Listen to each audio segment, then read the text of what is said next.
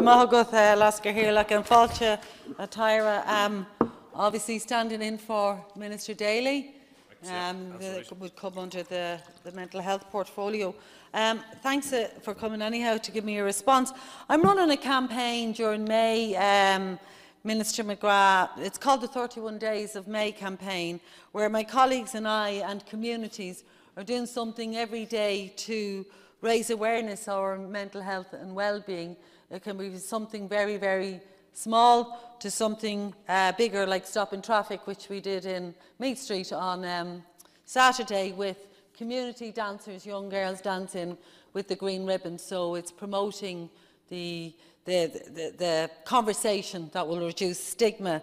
Um, Minister, but you, you'd know that the escalating um, seriousness in, in, in, in mental ill health, um, in the lack of well-being in our communities is escalating and it's in quite a crisis. Um, not a week goes by that I, have, I don't know about at least uh, three or four people who have uh, completed suicide. And in one instance, not last weekend, the weekend before, a 12-year-old child.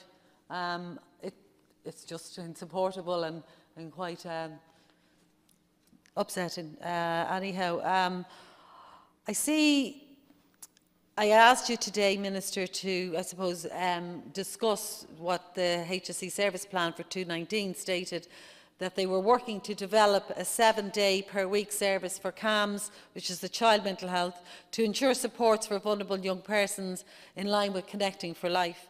However, in a PQ that was submitted um, and asking about this, uh, it was a bit shocking, the response in black and white. It just states there is currently no plan, plan date for completion of cost and implementation plan for providing 7 over 7 child and adolescent mental health services. The costed implementation plan is the first step and we've all agreed, I think, within these houses and the HSE and ministers uh, to deliver the 24-7 that is required, but 7 over 7 is the initial uh, ask and task for us. So it's essential really that we follow that service plan for 2019. But the HSE don't seem to be meeting their commitment to do to develop this. I guess I'm asking Minister, um, when will these vital services be delivered? We need reminding, I guess, and we all know that the importance of uh, services are Monday to Friday, but crisis doesn't ha don't happen that neatly uh, uh, into Monday to Friday. It's been proven uh, time and time again throughout Europe and in, obviously Ireland that the crisis um, occur from Thursday evening until late Sunday into Sunday in the hours of Sunday morning. And that is where the 7 over 7 services come in prior to the excellent care that will be provided for the 24-7. Gurmalgoth. Thank you, Senator Minister. Uh, thank you, Garlic. And first of all, can I thank uh, Senator Máire Devine for raising this very, very important issue in relation to mental health services. And of course, I do welcome any campaign in relation to dealing with the issue of stigma. But can I say, in relation, responding to your question, I think it's important that we know that the HSE Service Plan 2019 commits to developing all aspects of child and adolescent mental health services. And this includes uh, developing a seven day-a-week service for CAMHS to ensure improved supports for vulnerable young people, as well as related initiatives around enhanced early intervention and day hospital care. Community-based CAMHS teams provide specialist mental health services to young people up to the age of 18 and has operated on a five-day-a-week basis. An expanded CAMHS provision would be in line with adult services where a seven-day service is being developed. Where a child has a mental health crisis, initial consultation should be with their general practitioner and if the GP assesses that a child requires an urgent mental health assessment, the GP should contact the local CAMHS teams. Where a person under the 18 years of age presents to an emergency department following self-harm, it is important that this person receives a compassionate and emphatic response. They should receive a bio-psychosocial assessment from a suitable qualified mental health professional prior to discharge from the actual hospital. For children under the age of 16, it is recommended that they should be admitted overnight to a paediatric ward. The paediatric team should ensure the child receives a biopsychosocial assessment prior to discharge from the hospital, thus following international best practice. In some hospitals, the child will be assessed by a non-consultant hospital doctor who can discuss the case with the CAMHS consultant on call. In other uh, services, there may be no CAMHS consultant on call and the paediatric team will be advised to wait until the CAMHS consultant is actually available. The HSE National Clinical Programme for the Assessment and Management of Patients presented to Emergency Department following self-harm aims to ensure that all such payments receive a biopsychosocial assessment. This programme is currently being extended to include the three paediatric hospitals in Dublin. Three clinical nurse specialists, one for each of the three Dublin paediatric hospitals, are currently being recruited. The addition of a specialist in each of the hospitals will improve follow-up care. In addition, all three Dublin hospitals provide a comprehensive liaison psychi psych psychiatric uh, service.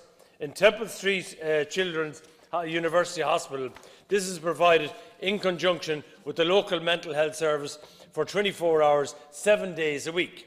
In Crumlin and Tallaght Children's University Hospitals, the, li the liaison psychiatry service is avail available Monday to Friday, 9am to 5pm.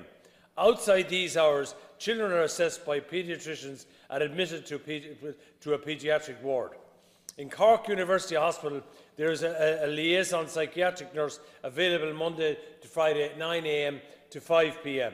This nurse is supported by a consultant from the CAMHS. Outside these hours, the NCHD completes assessments and the CAMHS consultants provide input as appropriate. CAMHS inpatient units currently operate on a 24-7 tertiary model of care to young people with the severe or complex mental health issues. There are currently 74 CAMHS inpatient beds in four units in Dublin, Cork and Galway. The new Children's Hospital will have an additional 20 CAMHS beds. There will be 10 CAMHS beds in the new forensic mental uh, complex due to open at Portrane next year. And this will be the first such unit nationally. Thank you, Carla. Uh, well, Minister, I don't really want to say thank you because, first of all, 74 CAMHS inpatient beds, are, only 50 of those are operational. This does not answer, it's like you give me an education in uh, CAMHS and the services that already exist. It doesn't address the 7 over 7, the vital importance of 7 over 7 for our children from that peak time of Thursday until until Sunday. And as for waiting in an A&E for a CAMHS consultant, they don't exist. Uh, many patients and children leave before, with their parents, leave before they are assessed in waiting days, hours for a consultant to come. Frankly, Minister, Lynn, Linn Dara, its day hospital is still closed as well. That's been closed for the last eight months and I can't get a response from the HSE as to what the plans is to do with it. It's a white elephant, it's lying there empty and it was state of the art when it opened there about two to three years ago. Minister, this answer does not uh, touch on at all the 7 over 7 and what is uh, available for our children now is just not good enough. We're failing them and we know what the difficulties are. We've been pledged to have 7 over 7 going on to a 24 over 7, but nothing is happening and the HSE are not responding to their plans supposedly for 2019 for this. Guramago.